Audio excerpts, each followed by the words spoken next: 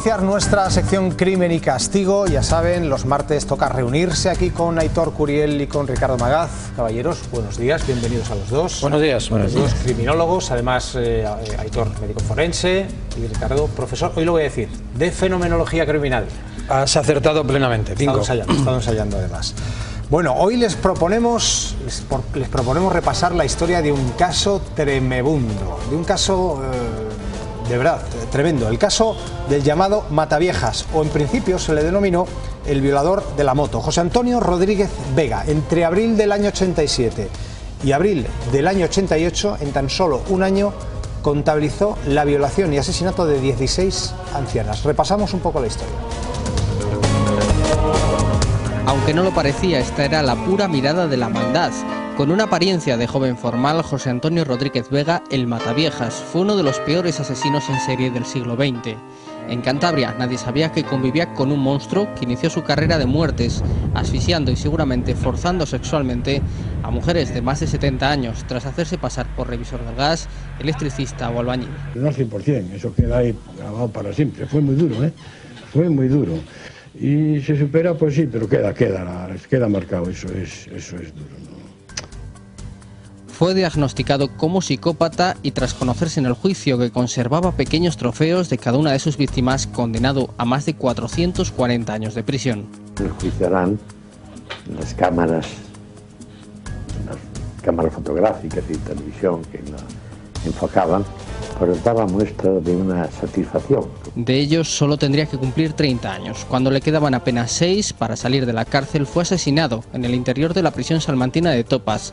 Fue apuñalado más de 100 veces con un pincho casero por otros dos reclusos, Enrique del Valle González, el Zanahorio, y Daniel Rodríguez Ovelleiro. El Matavieja se vanagloriaba en prisión de lo poco que le quedaba de condena y de lo rico que se iba a hacer cuando saliera de la cárcel escribiendo sus memorias. El Zanahorio y otros dos reclusos se lo impidieron, aunque aseguraron en el juicio que los propios guardias de la prisión les entregaron las armas empleadas. Nuestra calificación y como relatamos los hechos tal como ha ocurrido, son personas que han sido utilizadas teniendo en cuenta esas carencias personales, ¿no? por decirlo de alguna manera. Consecuentemente no son responsables de este delito fue el final del Mataviejas, enterrado en una fosa común de Salamanca en un acto al que solo asistieron los enterradores.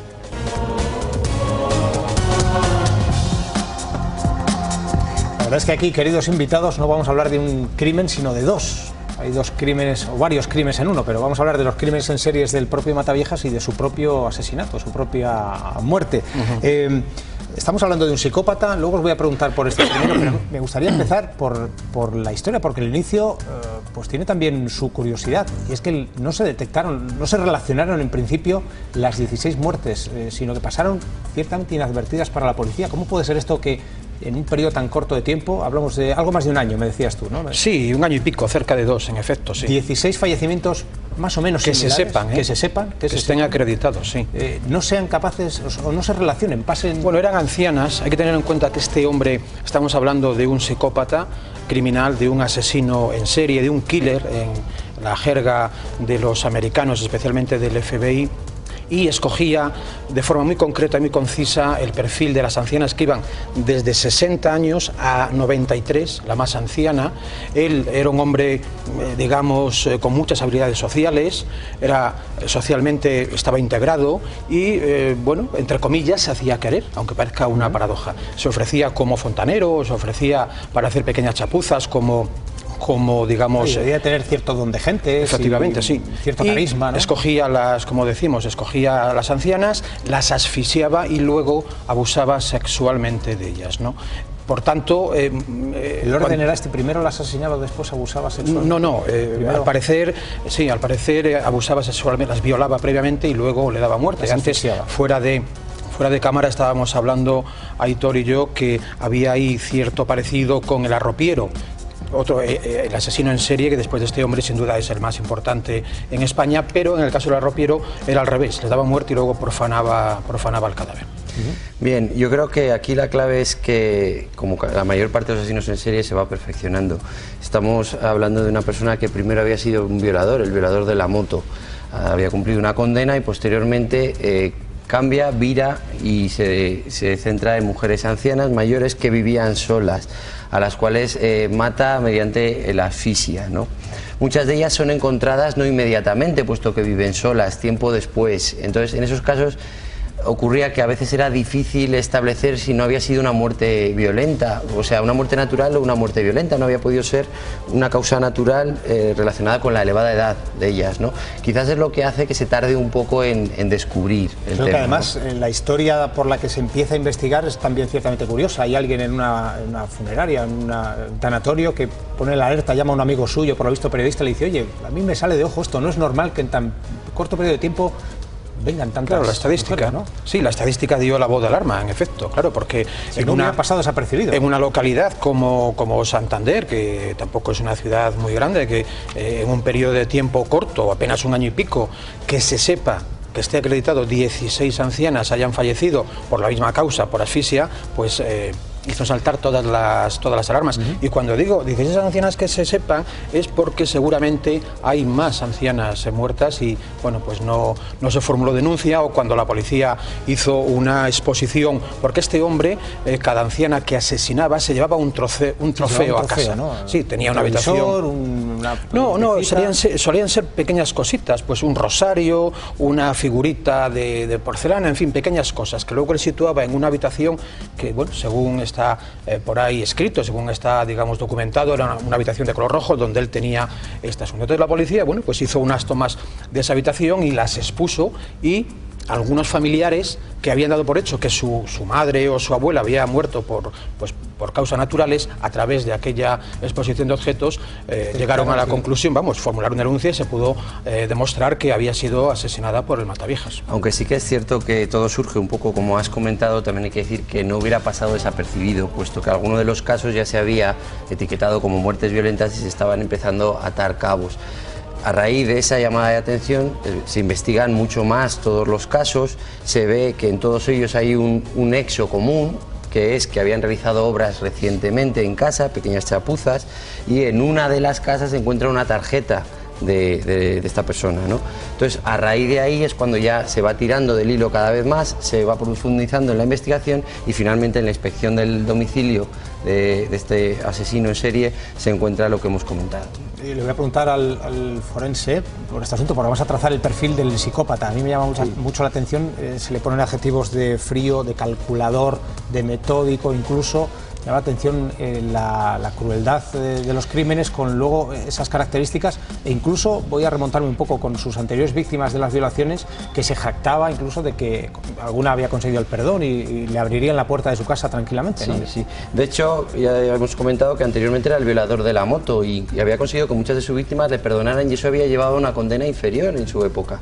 Eh, es un psicópata de libro, es eh, un asesino en serie organizado que está perfectamente integrado en la sociedad, que tiene un cierto don de gentes. Sí que es cierto que con no demasiada cultura general, no dejaba de ser un albañil, pero eh, bueno, pues con un cierto don de gente, es una persona que con un aspecto de no haber roto un plato, de no haber matado una mosca en su vida, que dicen que incluso podía ser el yerno ideal para determinados ambientes, evidentemente pero e, es el perfil habitual. El asesino en serie organizado, en este caso el psicópata, es una persona con un trastorno de la personalidad que no siente empatía, eh, empatía por, por otras personas, no es capaz de ponerse en su lugar, no da valor a la vida o a los sentimientos de las otras personas y puede estar perfectamente integrada. Es más, normalmente están perfectamente integradas tanto en su trabajo como pueden tener su familia y, tener un éxito profesional y un éxito personal en la vida que no quita para que luego tengan este otro eh, lado oscuro en el cual bueno, pues realicen este tipo de, atentados, este tipo de asesinatos y que van aprendiendo.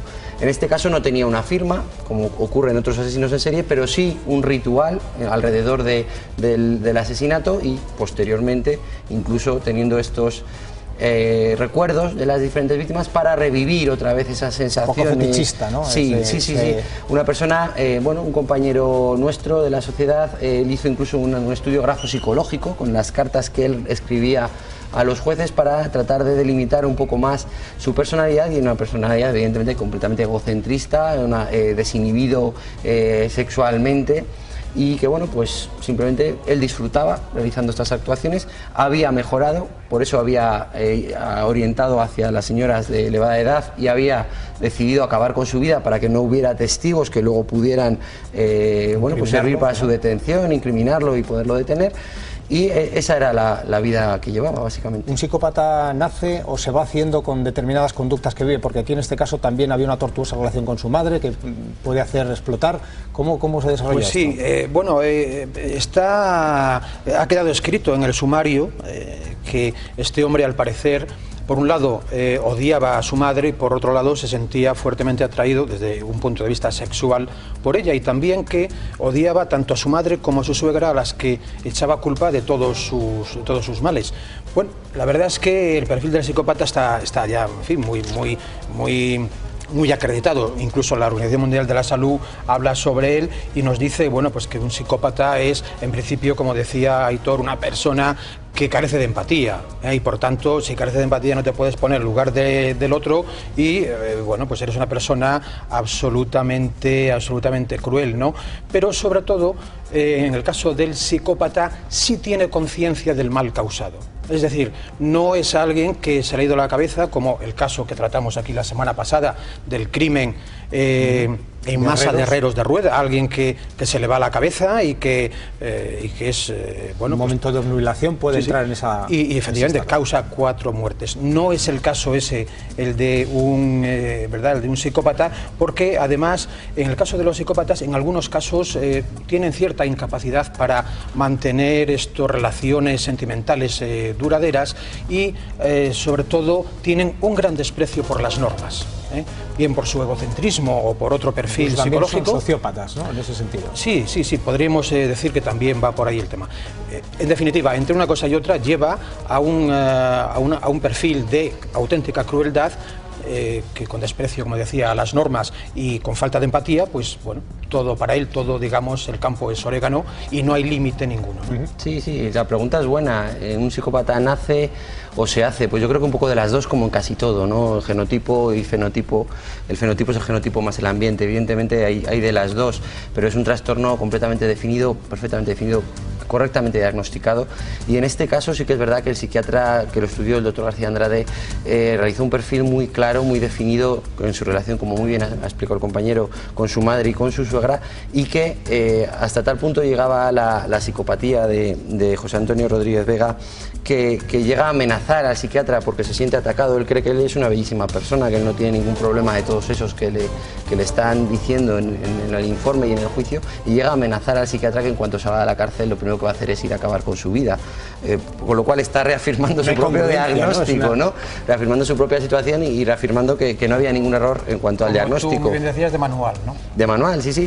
Una persona que es total y absolutamente imputable porque conoce la ilicitud de todos los hechos que está realizando y está obrando con la voluntad y con la libertad absoluta para decidir si hace el bien o hace el mal, decidiendo que hace el mal simplemente porque disfruta haciéndose mal y porque no da ningún valor a lo que puedan sufrir las otras personas que están sufriendo de sus actuaciones. Bueno, que luego lo pagó caro, 432 años de cárcel fue condenado, iba a cumplir 30 me parece, y cuando le faltaban 6 eh, también, eh, bueno, pues no sé si recibe su merecido, pero hay dos presos a los que... Bueno, realmente eran tres. Tres. Eran tres. Zanahorio, eh, Ovelleiro... Sí, el Zanahorio que era de León, el, el otro que procedía de Galicia y un tercero que porque estos dos le apuñalan con unos pinchos, pero el tercero, en discordia, lo que hace es darle con una piedra que había metido previamente en un calcetín, lo deja, digamos, eh, atontado, groggy, y entonces efectivamente los, los otros dos Una pregunta muy breve porque quiero pasar a otro asunto relacionado, pero eh, ese ensañamiento eh, hasta 315... Bueno, no, rectifico, eh, 113, tenéis 113, razón, sí, bueno, sí, me había equivocado. Me parece 113. que ese ensañamiento, 113 puñaladas 113, con el cadáver, sí. porque supongo que fallecería mucho, sí, muy pronto. Pues prácticamente en el acto, pero lo cierto es que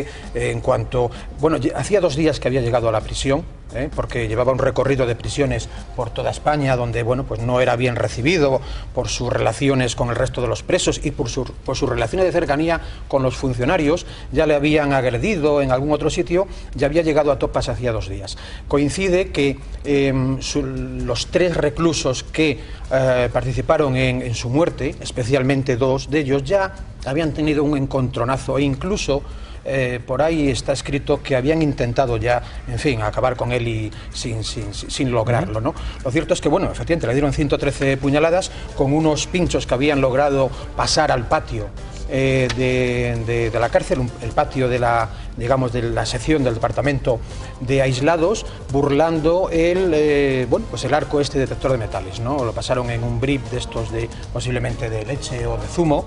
Y el otro, pues hicieron, en fin, una operación allí eh, desenchufando, si no desenchufando, sí cortando un cable, ¿verdad?, desde el patio y lograron pasar estos dos pinchos. Hay que decir que de los siete esto, presos que había en- en ese momento en el patio, estos tres fueron los que efectivamente le abordaron y acabaron con su vida.